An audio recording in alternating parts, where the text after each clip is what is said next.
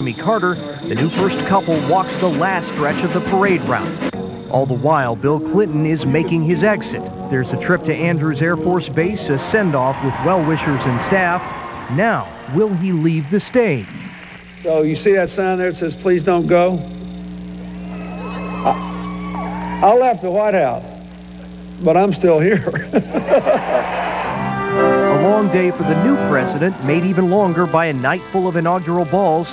Bush is the first to say he's no dancer.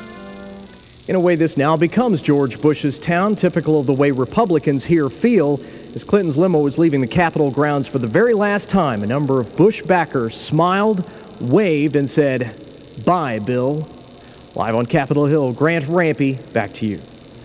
Grant, quite a historical day indeed. Uh, with all the pomp and ceremony, I understand that the new president didn't waste any time getting down to business. That is right. His first act as president, he uh, placed a block on a number of last minute executive orders done by Bill Clinton that would have affected Medicare and the environment. He wasted no time. I believe he maybe waited one hour.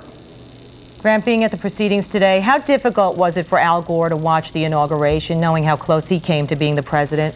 Mary, that, that's an interesting question. That's something everyone would like to know, no doubt. I, you can only look at his face because he didn't say anything that we heard publicly, but very often, especially in the long walk through the Capitol, if you saw any of that tape earlier today, the man looked glum, silent, but he went through the motions and appeared to be gracefully uh, handing over power the way we're all supposed to do.